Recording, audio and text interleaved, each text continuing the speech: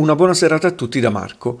L'impulso freddo nord-orientale è ormai giunto sulla nostra penisola ed in questa parte serale di giornata le manifestazioni temporalesche stanno insistendo soprattutto sulle regioni del centro Italia, mentre al nord la situazione tende a migliorare. Domani ancora forte instabilità soprattutto nelle regioni centro-meridionali, ma per domenica i temporali potranno di nuovo coinvolgere anche le regioni del nord.